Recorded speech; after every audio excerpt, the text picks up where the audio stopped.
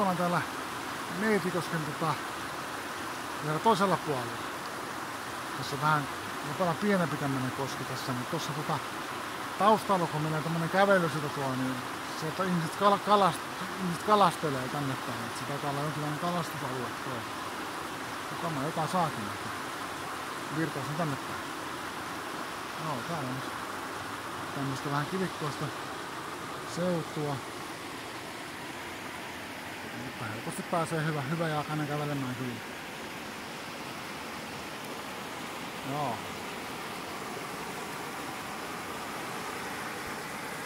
Tää on ihan kiva kyllä tämmönen. Tää tässä vielä...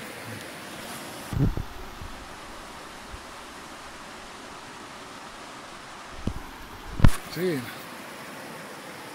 Tässä. Nyt mä jatkan eteenpäin. Moro.